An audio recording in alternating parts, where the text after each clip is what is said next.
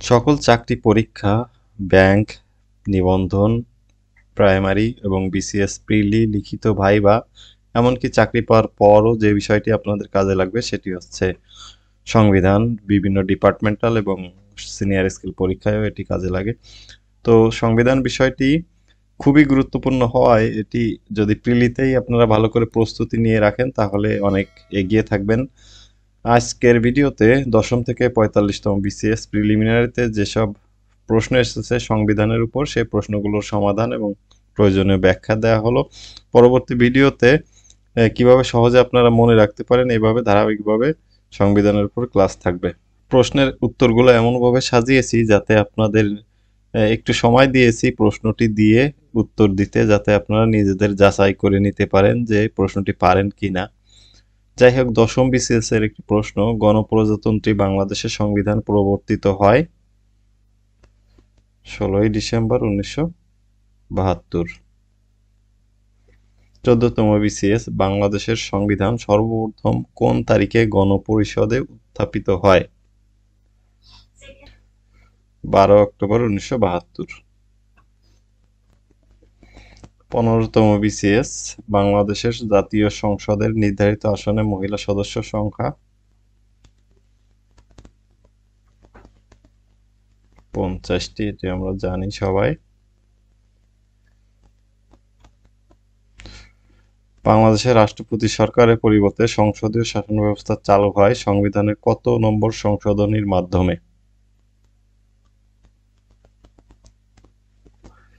এটি হচ্ছে বারোতম সংশোধনীর মাধ্যমে এটি চালু হয়। বাংলাদেশের জাতীয় সংসদে উপজেলা বাতিল বিলটি কখন পাশ করা হয়েছিল? উনিশশো বিরানব্বই সালে।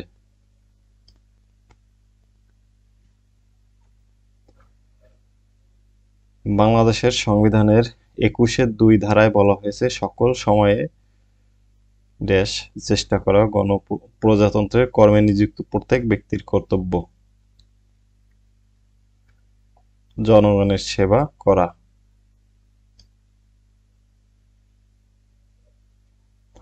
বাংলাদেশের প্রধানমন্ত্রী হওয়ার ন্যূনতম বয়স কত?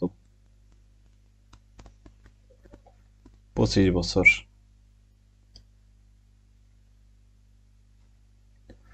বাংলাদেশে একজন ভোটারের সর্বনিম্ন বয়স কত? আমরা সবাই মোটামুটি জানি, আঠারো বছর।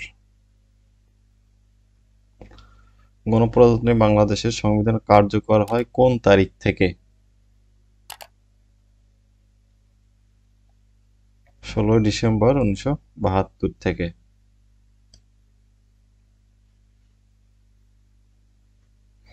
বাংলাদেশের সংসদীয় ব্যবস্থা সংবিধানে কোন সংশোধনীর মাধ্যমে পুনঃপ্রবর্তিত হয়? এটি হচ্ছে দ্বাদশ বারোতম সংশোধনীর মাধ্যমে এটি পুনঃপ্রতিষ্ঠিত হয় বা পরিবর্তিত হয়। সংবিধানের কোন অনুচ্ছেদ বলে রাষ্ট্র, নারী, শিশু বা অনগ্রসর নাগরিকদের অগ্রগতির জন্য বিশেষ বিধান তৈরির ক্ষমতা পায়। এটা হচ্ছে আঠারো নম্বর আঠাশ নম্বর অনুচ্ছেদ অনুযায়ী।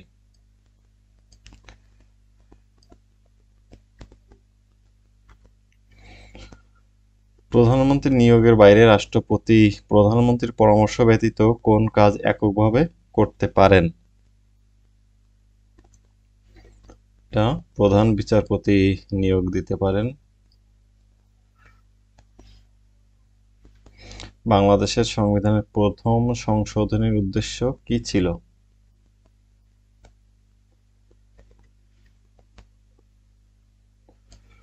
তিরানব্বই হাজার যুদ্ধবন্দির বিচার অনুষ্ঠান।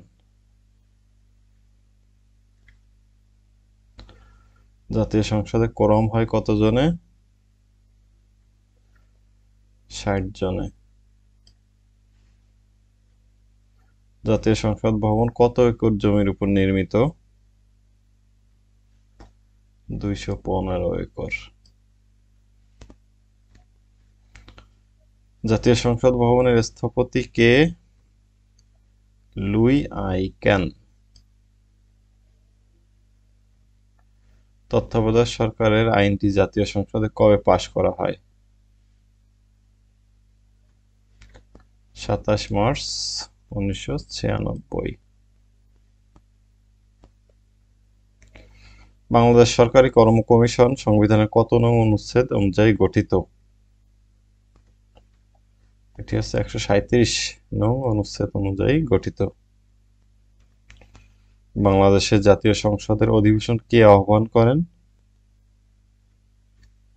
মহামান্য রাষ্ট্রপতি। সকল নাগরিক আইনের দৃষ্টিতে সমান এবং আইনের সমান আশ্রয় লাভের অধিকারী। সংবিধানের কোন অনুচ্ছেদে বর্ণিত আছে? এটি হচ্ছে সংবিধানের সাতাশ নং অনুচ্ছেদে আছে। আইন শৃঙ্খলা বিঘ্নকারী অপরাধ, অর্থাৎ দ্রুত বিচার আইন জাতীয় সংসদে পাশ করা হয়, কত তারিখে? এটি হচ্ছে নয় এপ্রিল দু হাজার দুই সালে। প্রধান নির্বাচন কমিশনারের মেয়াদ কত? পাঁচ বছর। সংবিধানের কোন অনুচ্ছেদ অনুযায়ী বাংলাদেশের নাগরিকগণ বাংলাদেশী বলে পরিচিত হবেন। ছয়ের দুই অনুচ্ছেদ অনুযায়ী। কোন আইন সংস্কার করে র্যাপিড অ্যাকশন ব্যাটালিয়ন গঠন করা হয়? আর্মড পুলিশ ব্যাটালিয়ন অ্যাক্ট উনিশশো উনআশি। উনআশি সংবিধানে কোন অনুচ্ছেদে রাষ্ট্র ও গণজীবনের সর্বস্তরে নারী পুরুষের সমান অধিকার লাভ করিবেন? এটি বলা আছে। এটি হচ্ছে আঠাশের দুই নং অনুচ্ছেদে বলা আছে। বাংলাদেশের প্রথম জাতীয় সংসদ নির্বাচন হয় কবে? সাত মার্চ উনিশশো তেহাত্তর। বাংলাদেশের সংবিধানের কত অনুচ্ছেদ অনুযায়ী বাংলাদেশের সরকারি কর্ম কমিশন গঠিত হয়, এটি আমরা আগেও দেখেছি। একশো সাঁত্রিশ নং অনুচ্ছেদ অনুযায়ী। বাংলাদেশের সংবিধানে এখন পর্যন্ত কতটি সংশোধনী আনা হয়েছে? সংশোধনী আনা হয়েছে। সতেরোটি সংশোধনী আনা হয়েছে। বাংলাদেশ সংবিধানে প্রশাসনিক ট্রাইব্যুনাল বিষয়টি কোন অনুচ্ছেদে সন্নিবেশিত হয়েছে? একশো সতেরো নং অনুচ্ছেদ।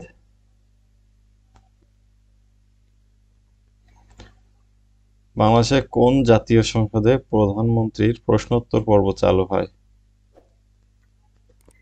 এটি হচ্ছে সপ্তম সংসদে। একটি মাত্র সংসদীয় আসন, এটি হচ্ছে রাঙামাটি জেলায়। জাতীয় সংসদে কাউন্টিং ভোট কি? স্পিকারের ভোট মাননীয় স্পিকার যে ভোটটি দেয়। সংবিধানের কোন অনুচ্ছেদে সরকারি কর্ম কমিশন গঠন উল্লেখ আছে? এটি আমরা কয়েকবার দেখছি, একশো সাঁত্রিশ গণপ্রজাতন্ত্রী বাংলাদেশের সংবিধানের কোন ধারায় সকল নাগরিককে আইনের দৃষ্টিতে সমতার কথা বলা হয়েছে? এটি হচ্ছে ধারা সাতাশ। প্রিয় ভিউয়ার্স আপনারা অবশ্যই চ্যানেলটি সাবস্ক্রাইব করে রাখবেন, কারণ ছেচল্লিশতম বিসিএস এর পূর্বে সকল বিষয়ের প্রশ্ন সমাধান এবং ক্লাসের ভিডিও দেওয়ার চেষ্টা করব যতদূর পারি। আর জব এবং টিপস নামে একটি পেজ আছে, আপনারা পেজটিও ফলো করে রাখতে পারেন। ফেসবুক পেজ সেখানে বিভিন্ন পিডিএফ এবং অন্যান্য নোট আপনাদের সাথে শেয়ার করা হবে। গণপ্রজাতন্ত্রী বাংলাদেশের সংবিধান মতে প্রধান নির্বাচন কমিশনের নিয়োগের মেয়াদকাল হচ্ছে কয় বছর? পাঁচ বছর। নির্বাহী বিভাগ থেকে বিচার বিভাগ পৃথক করার বিষয়টি সংবিধানের কোন অনুচ্ছেদে উল্লেখ রয়েছে? অনুচ্ছেদ বাইশ। বঙ্গবন্ধুর ঐতিহাসিক সাতই মার্চের ভাষণ সংবিধানের কোন তফসিলে অন্তর্ভুক্ত করা হয়েছে? এটা হচ্ছে পঞ্চম তফসিলে। সংবিধানের কোন সংশোধনকে first distort first distortion of constitution বলে আখ্যায়িত করা হয়? পঞ্চম সংশোধনকে। স্বাধীনতার ঘোষণাপত্র সংবিধানের কততম তফসিলে সংযোজন করা হয়েছে? এটি সপ্তম তফসিলে সংযোজন করা হয়েছে। গণপ্রজাতন্ত্রী বাংলাদেশের সংবিধান প্রবর্তিত হয়, এটা আমরা আগেও দেখেছি, ষোলোই ডিসেম্বর উনিশশো বাহাত্তর। সংবিধানের কোন অনুচ্ছেদে সরকারি কর্ম কমিশন গঠনের উল্লেখ আছে। এটা কয়েকবারই আসছে, একশো সাঁত্রিশ নং অনুচ্ছেদে। সংবিধানের কোন অনুচ্ছেদের আলোকে বাংলাদেশে বৈদেশিক নীতি পরিচালিত হয়? অনুচ্ছেদ পঁচিশ অনুযায়ী, কোন অনুচ্ছেদ বলে বাংলাদেশের সংবিধানের মৌলিক বিধানবলী পরিবর্তনযোগ্য নয়। এটি হচ্ছে অনুচ্ছেদ সাতের খ। বাংলাদেশের সংবিধানের ত্রয়োদশ সংশোধনের মূল বিষয় কি ছিল? তেরোতম সংশোধনের মূল বিষয় ছিল তত্ত্বাবধায়ক সরকার প্রতিষ্ঠা।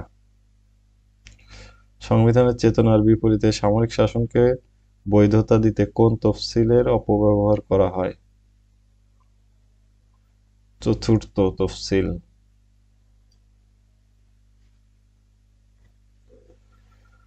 গণপ্রজাতন্ত্রী বাংলাদেশের সংবিধানের খসড়া সর্বপ্রথম গণপরিষদের উনিশশো বাহাত্তর সালে কোন তারিখে উত্থাপিত হয়? এটি বারোই অক্টোবর।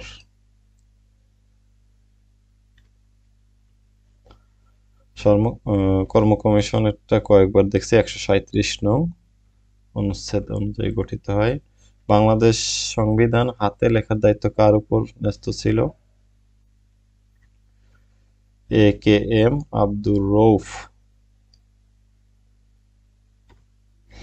Bangladesh সংবিধানে কোন অনুচ্ছেদে নারী পুরুষের সমতা নিশ্চিত করা হয়েছে? এটিও কয়েকবার আমরা দেখেছি। আঠাশের দুই নং অনুচ্ছেদ অনুযায়ী।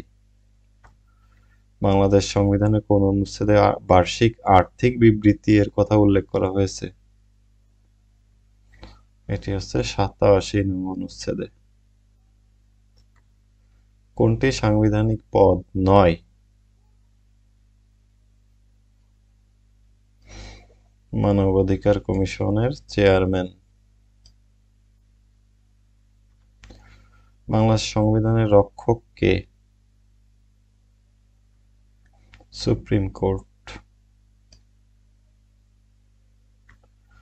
কোন নাগরিকের মৌলিক অধিকার লঙ্ঘিত হলে সংবিধানের কোন অনুচ্ছেদ, বিধান অনুযায়ী তিনি মামলা করতে পারেন। অর্থাৎ রিট করা হয় যে একশো দুই নং অনুচ্ছেদ অনুযায়ী। ধর্মীয় স্বাধীনতা বাংলাদেশ সংবিধানের কোন অনুচ্ছেদের অন্তর্ভুক্ত? ধর্মীয় স্বাধীনতা হচ্ছে অনুচ্ছেদ একচল্লিশের অন্তর্ভুক্ত। প্রজাতন্ত্রের রাষ্ট্রভাষা বাংলা। কথাটি সংবিধানের কোন অনুচ্ছেদে বলা আছে? অনুচ্ছেদ তিনে। ঐতিহাসিক সাতই মাসের ভাষণ সংবিধানের কোন তফসিলে আছে? এটি হচ্ছে পঞ্চম তফসিলে আছে। আগে আগে প্রশ্নটি এসেছে। বাংলাদেশের সংবিধান অনুযায়ী কোর্ট অফ রেকর্ড হিসাবে গণ্য